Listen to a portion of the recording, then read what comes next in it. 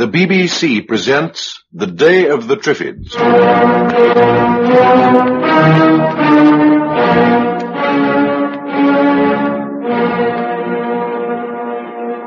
Right. Now the chain through his arms and the strap round his wrist. How am I supposed to find supplies like this? Chained to a lot of blind men. You'll manage. And here's your area, made of ale. I shouldn't let your lot get hungry. Some of them are tough.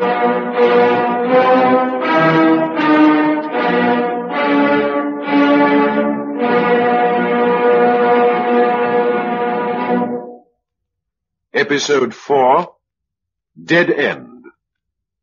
The morning after we settled in at Swiss Cottage, I found that the two men who'd been taken ill in the night had died, and that now three more of the party were ill.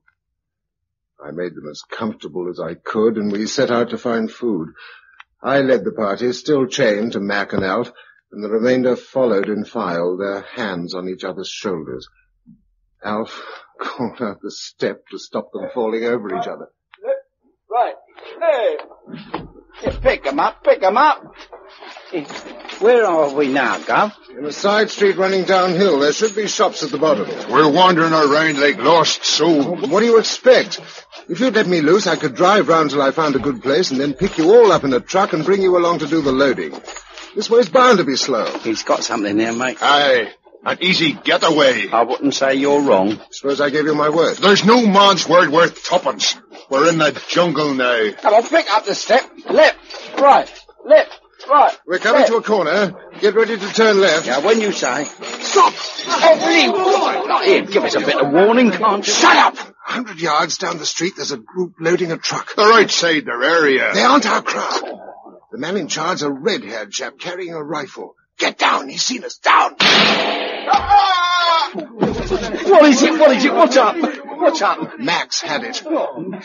Turn back, the rest of you, and go up the hill as if nothing had happened. Come on, mate. Run for it. No, he's coming towards us. Okay, I've undone Mac's strap. We're free of him. This way, round the corner. In here. What is it? Gone. Now down. He- He'll shoot us all. No, he won't. He only wants me. Oh, yes. Where's the key to these handcuffs? In my pocket. Let's have it. Look, mate. Alf, I'll crack your skull with a chain if you don't hand it over. There you are. Good. Now keep quiet.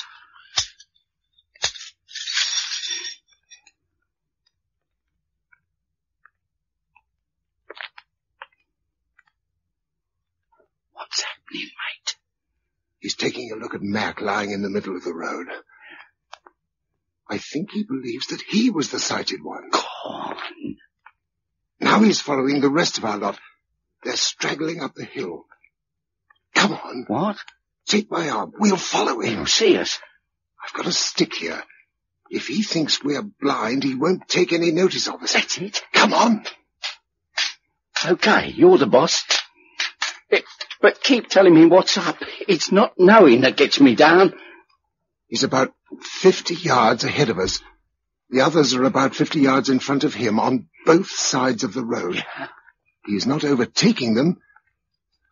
He wants to see where they're going. So as he can pinch our supplies, I dare say. Something like that.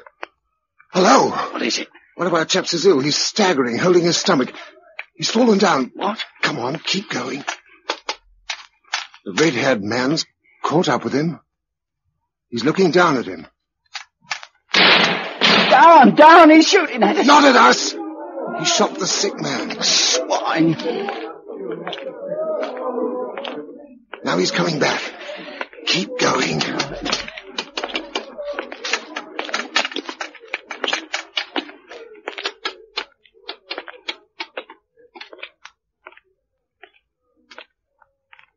He's gone past. Come on. We've got to get a move on if we're going to get the others back to the hotel before they get too dispersed. do you mean you're not going to leave us? Sorry to disappoint you, Alf. I thought I could when you had me chained, but now I'm free to go. I seem to have been landed with a baby I can't drop. Pity old Mac couldn't hear you say that. He'd have died of shock.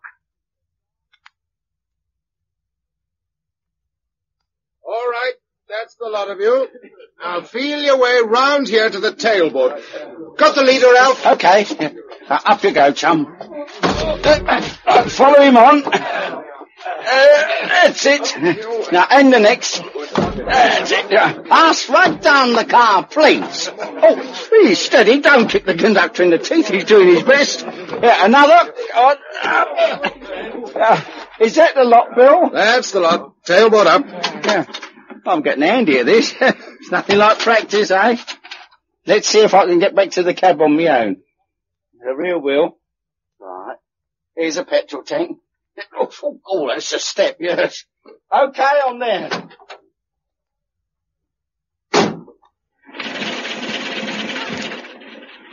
How many have we got with us? Fifteen. And twelve women back at the hotel, that's twenty-seven. Four sick makes thirty-one. We was fifty-three four days ago. Four days. Is that all it is? What do you reckon this is we're all getting? I don't know. It's come on too quickly for typhoid. Could be plague. Plague? I don't know. Oh, looks like solving most of our problems anyhow. That's looking on the bright side with a vengeance. Oh well, keep cheerful. what are we going to try for today?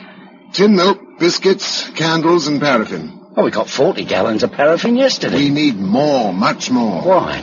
No time to dig. Oh, that. Yes.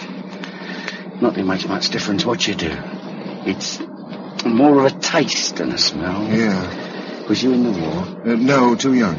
I never thought the whole of London had put me in mind of the Falaise Gap two days after the battle. Oh, yeah, I'm getting morbid.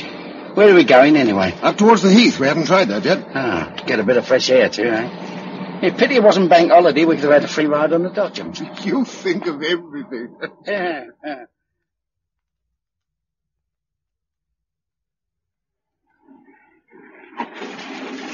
Not much improvement up here. No, there are, there are more dead bodies lying round here than in most places. Yes, is the shop okay? Seems to be. Hang on there to the back while I open up shop. Right. Someone's been in before. They haven't taken much. Hmm. The ham's gone off. yes, you're by the cold meat counter. Oh, that's it. Stay there while I see what's in the bag. Hi there.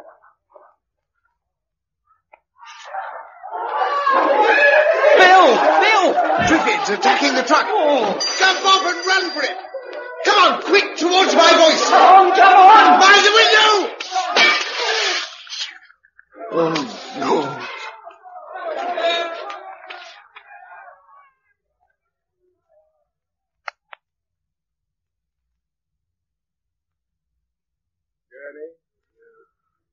Bradshaw.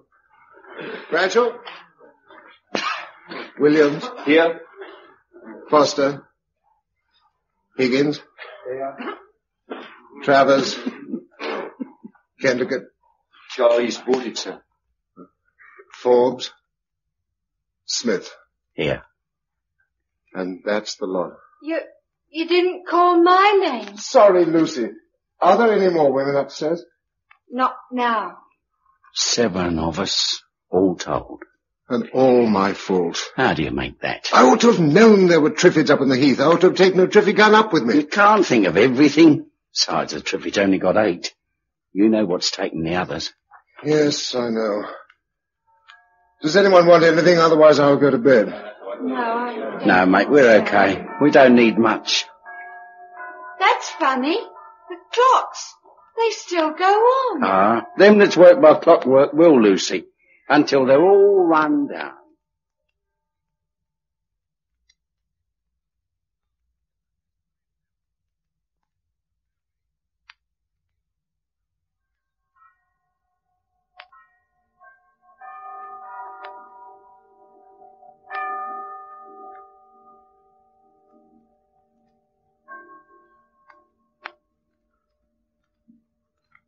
Hello? Hello? Anyone there? Oh, hello, mate. You woke up, have you? What was that just struck? Hmm? I don't know. It, uh, well, it must be about uh, eight o'clock by the, by the feel of the sun. Where is everyone? Cleared off. What? That kid Lucy took ill in the night. And the others got the wind up and said the place was unhealthy and they pushed off to find somewhere else. And Lucy? She died about two o'clock. Why didn't you wake me? She was out for the count. See, there wasn't anything you could have done. All the same, I, oh, I hate to think about being alone. I was there. Yes, why? Of course I hadn't gone. I know, but why not? Don't you think it's unhealthy here? I think everywhere's unhealthy. Besides, it, it didn't seem like to push off without saying. But what do we do now? We have some breakfast. Then we make for Westminster. To find your girlfriend, right? Dead right. Huh. Yes, you've got a funny way of putting things sometimes. Uh, hand me that tin opener, will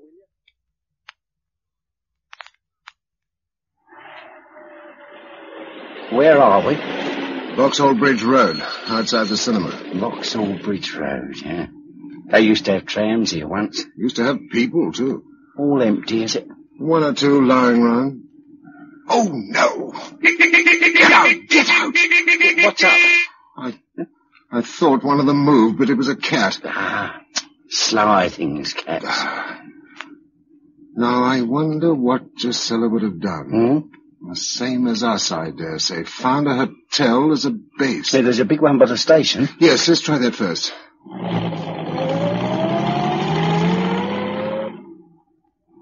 Are all the buses still in the station yard?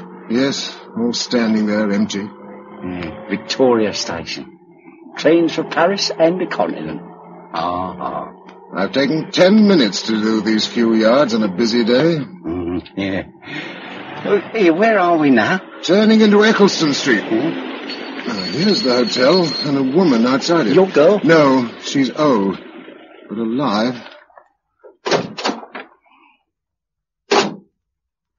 Have you? You keep away.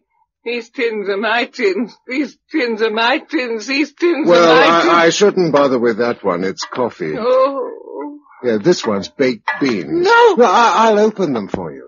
give me the tin. Give it. Were you give with the party? Give me the tin. Tell me then, were you with the party? Yes. Led by a girl? Give me my tin. In a moment. Was there a girl who could see? Yes. Now, now give me. What happened to her? They all got ill and died and then she went away. Oh. She wanted to take me, but I wouldn't go. Where's the point? When did this happen? Yesterday. Give me my tin. Is that all you know? Yes, my tin. Here you are. I've opened it. What's the matter? I can tell you that, mate, even without eyes. They've got it down here too. Best come away. Oh, wait. Oh, oh, and I was hungry now. I don't want I didn't.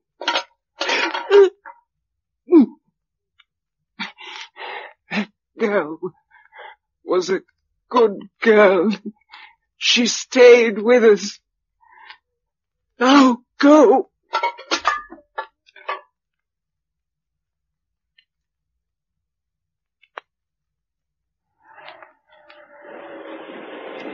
Well, this is where I came in, the university. Anyone about? Not by the look of it. There's only one truck left. Uh, maybe the ones Coker did in Shanghai, they just, you know, pushed off. Looks like him. Hmm. Oh, wait a moment. There's something pinned on the main door. Hang on, I'll go and have a look. Yeah, watch out for Triffid. I'll take the Triffid gun. No, I won't though. I'll take the revolver. There's someone coming. Stay there. Don't go too far. Stand still. Put your hands up. Why, it's Mr. Coker. Yes, it's me. Don't worry, I'm not armed. Well, what are you after? Another little party? No, I've had enough. They all died. So did mine. Still, we tried. The wrong way. Yes. No, but it seemed right to me at any rate. I didn't realize then that the whole world must be like this. Good, think of New York. And what are you going to do now? Go after the others and eat humble pie. Have you seen the address they left behind? Uh, no, I was on my way to look at it. Tynesham Manor, Tynesham, near Devizes. We won't get there tonight. No, I was going to bed down here and move in the morning. If you take that truck, I'll take the car. Well, couldn't we take the truck alone? I've got a passenger. Alf, here's your old friend Coker. Alf! I he's gone to sleep. Wake up, Alf. No, mate. I'm not asleep. Keep away from me. Where's Bill? Here. I've got it. Alf. No, you keep away. I've got it. I'll be dead by the morning. I'll tell that devil to stay alive. Thanks. Thanks for all you done, Bill. Hope you find your girl. Just give me a drink of water.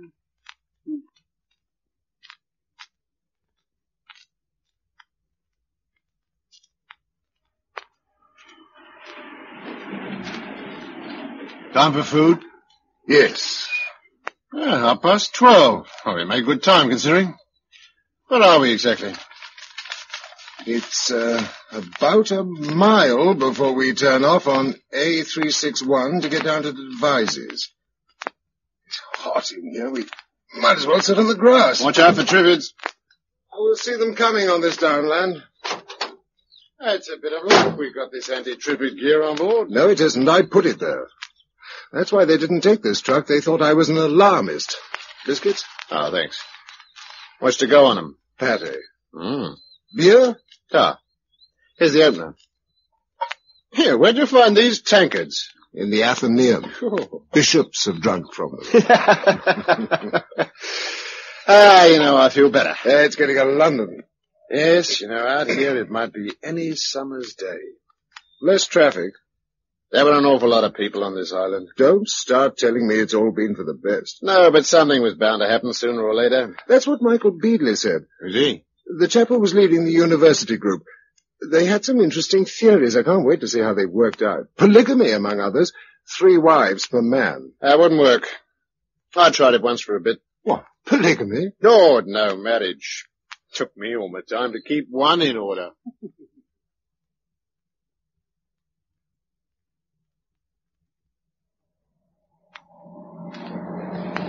Oh, we're just about there.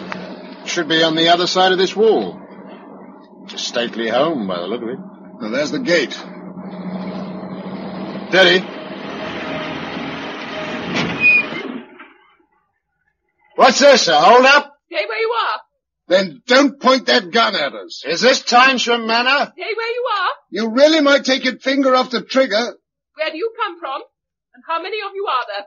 Just the two of us. We've come down from London to join the party. What's in the truck? Supplies. All right, pass. We'd better report to Miss Durrant. She's in the dining hall. Where's Michael Beadley? I don't know. Miss Durrant's in charge. Report to her. All right. Who's this Miss Durrant? As far as I can remember, she was the one who rebelled against polygamy. Something wrong if she's running things. Let's find out. Pamela? Cynthia? Start serving the blancmange now. I think they've all finished their first course. Yes? What do you want? Miss Durrant, Yes? we've just arrived from London. Can we have a word with you? Uh, one moment. Pam, make the helpings larger. We don't want any left over. Yes, Miss Durrant. Now, what is it? Mr. Coker and I have just arrived. We want to know the form. Mr. Coker? Aren't you the man who led the raid on the university buildings? I am. Then I'd better let you know once and for all that we have no use for brutal methods in this community, I've no intention of tolerating them. What is this community? Where's Michael Beadley and all the others? They decided to move on. Why? Because we made it perfectly clear that some of us at any rate wished to preserve our moral standards. If you wish to stay and help us, you can. If not, please go as soon as possible. Who are all these people here? They didn't come from London, did they? They are locals. All blind? Yes, How many sighted have you? there are seven of us. What about Miss Playton, Josella Playton? Is she here? No. There's Peggy Harcourt Smith down at the gate. Monica, Pamela, and Cynthia on duty here. Uh, Betty and Rosemary on a Triffid patrol. And that's all the ones who could see. Nobody called Josella. They're all girls here. All the sighted ones, yes. Meaning that all the men elected to go with the other party. Which is why they went and you stayed. Naturally. With the lorries to be driven and the loading to be done, it was obviously right that they should be the ones to go. Which is why you won't last for three months. I beg your pardon. If that, you haven't got a ruddy clue. Oh. How are you going to feed all these people for a start?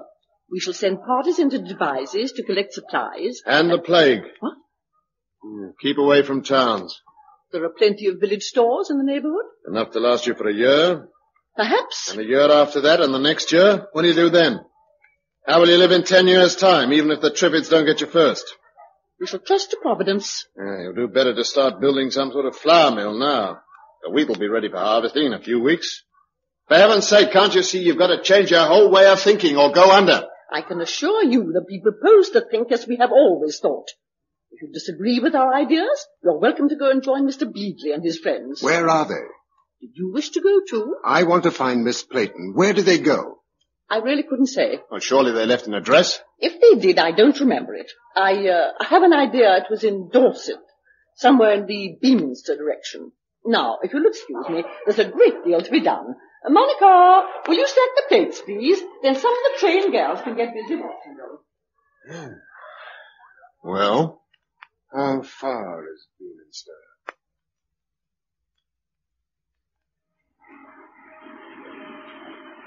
Where are we?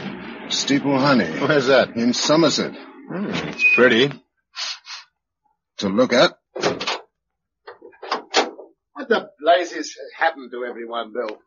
I mean, I can understand them getting disease in the big towns, but you'd expect people to be alive out here. There have been accidents and suicides. Well, not all that many, surely. We've come 50 miles now without seeing a living creature except a few sheep. And the dickens of a lot of Triffids. Yes, uh, more and more of them. You've noticed that too. Why is it? I've been wondering. I don't know. Hi! Hi! Is there someone there? Well, we've broken our duck as far as people go. Over there in the pub. Upstairs window. Oh, yes. Can you get downstairs? Coming now! He's alive. Why aren't the others? Oh, he kept his head. They lost theirs. I don't know. We may as well take a drink from him. Where are you? Coming over. Look out, Triffid! The, the Triffid gun. Here. Got it. Is the chap dead? Yes. Look. It had rooted itself in his garden, just in reach of the door. Almost as though it was waiting for him. Almost. But it couldn't have been, could it? I mean, they've got no intelligence. They're they're plants. A friend of mine who knew a lot about them wasn't so sure. He thought they talked to each other. Do you think so? I don't know. He also said that sight was the only advantage that mankind had over Triffids. Yes, but what'd be the idea of killing people? They, they can't eat flesh. If they wait long enough, they can drink it, just like any other plant. Thank you. I'll have a large brandy after that little thought. No, I won't. Here come two more. Let's get out of it. This! Come on!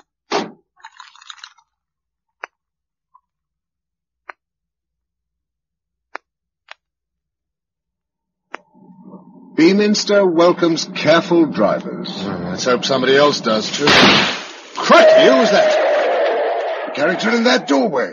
Stay where you are and don't move. What's the idea? Dog eat dog? How many of you are there? Only us two. We're harmless. All right, you can get down. Come on, you others. All right. But who are you? Where do you come from? Have you, uh, have you any gin? What's happened? You mean you don't know? Well, only that we were all in a car smash a week ago and taken to the cottage hospital. When we came round the next morning, everybody else was blind. Oh, my name's Stephen Brennell. I'm supposed to be a stockbroker. Uh, this is Vera Paul, a girlfriend of mine, and this is uh, Sid Farrer, who used to run a radio shop. Pleased to meet you. My name's Bill Mason. This is Jack Coker. I know you know. What about the others? Well, they're up at the manor. They broke their legs. Who? The others who were in the accident.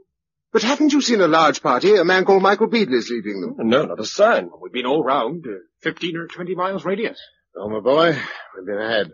Miss Durrant. Bless her. Look, supposing you come back to the manor with us. Then we can all put each other into our respective pictures. Oh, fair enough. Lead on. I fired the machine gun so that it fires from this window covering the drive, and a mortar here to deal with anybody beyond the shrubbery where we can't see them. Well, it takes care of this side of the house. But why? Well, there's bound to be trouble sooner or later when stocks run low in the cities. We've been expecting gangs out any day. You haven't seen the cities. They're emptier than the countryside. What? Do you mean nobody in them? Yes, darling, that's exactly what he means. Well, that only shows what I've been saying all along. We've got to wait for the Americans. What Americans? Well, they're bound to come sooner or later. I mean, you know, like in the war and the food parcels and all that. They won't be coming this time.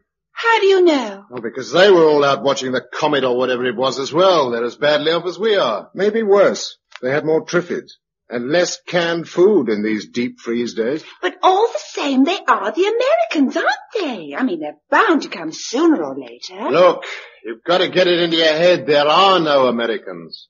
But there must be Americans. It's no good. You'll never convince her. Here, have a drink, darling, and keep quiet, eh?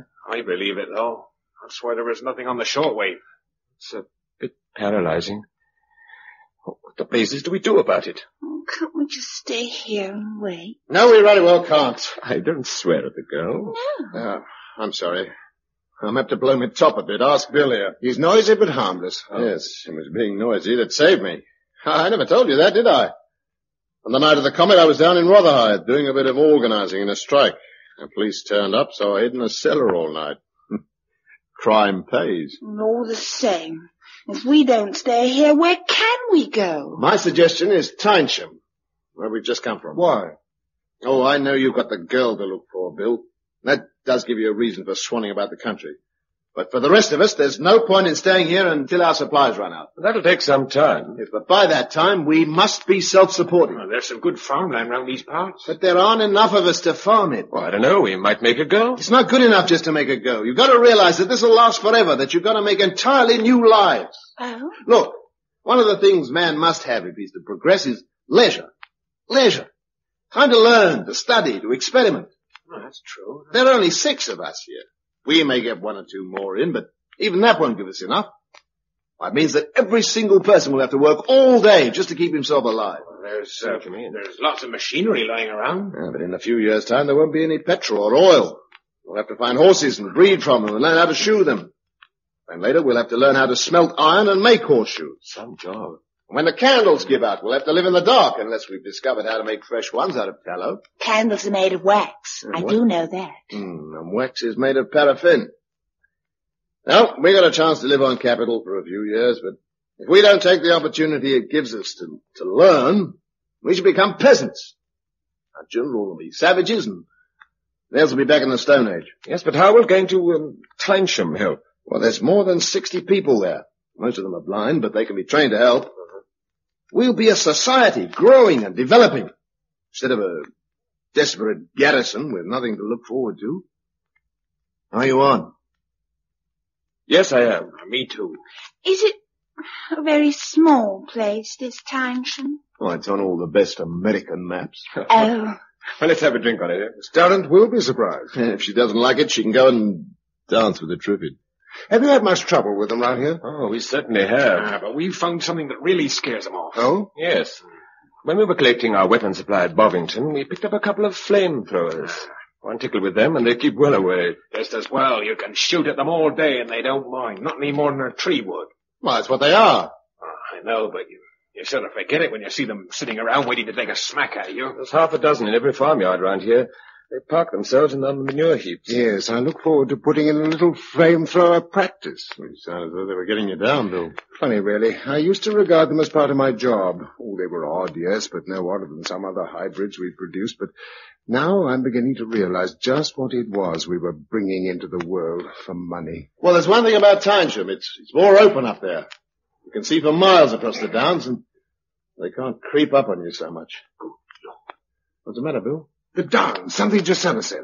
your girlfriend? Yes, back in London, she said something about some friends of hers who lived on the Sussex Downs near Pulborough. That was where she suggested we might go. I bet that's where she is. Unless, What? oh, nothing. Oh, I know. Unless she's caught the plague and died. She might have done. But all the same, you're starting for Pulborough in the morning. I don't blame you, chum. In fact, I wish you luck. That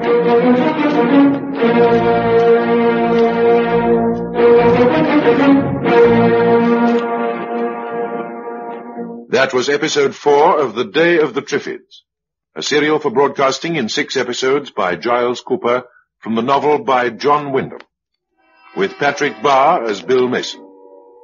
Production for the BBC is by Peter Watts.